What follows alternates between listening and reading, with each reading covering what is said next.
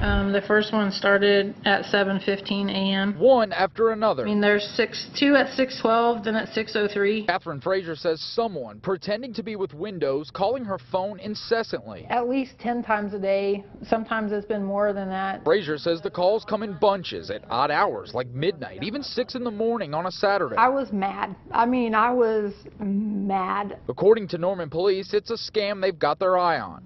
The caller asking questions about the victim's computer, hoping to gain access to private information. Police say it's happened to multiple people. This victim writing on the Norman PD Facebook page that she even changed her phone number.